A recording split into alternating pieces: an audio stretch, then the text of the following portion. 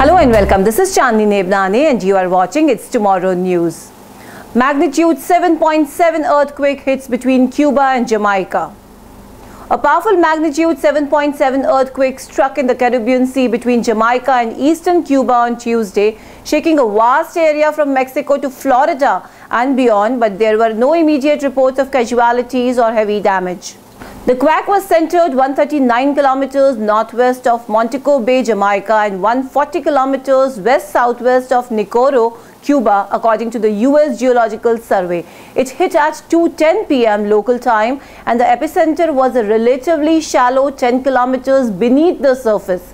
The quake could be felt strongly in Santiago, the largest city in eastern Cuba. A tsunami of 0.4 feet was recorded in the Cayman Islands at Georgetown, but no tsunami was observed at Port Royal, Jamaica or Puerto Plata, Dominican Republic. There were several aftershocks, including one the U.S. Geological Survey said had a magnitude of 6.1. The quakes come three weeks after a magnitude 6.4 earthquake struck Puerto Rico.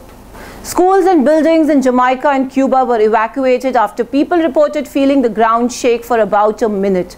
The quake was felt as far away as Miami, where several downtown skyscrapers were evacuated. The Pacific Tsunami Warning Center issued an alert cautioning that waves up to 3 to 5 feet above the normal tide level were possible along the coasts of Belize, Cuba, Honduras, Mexico, Jamaica and the Cayman Islands. No deaths or injuries have been reported and the extent of the damage is still emerging as new images show massive sinkholes opened up on roads in the Cayman Islands and residents say what appears to be sewage and spilling out of broken pipes.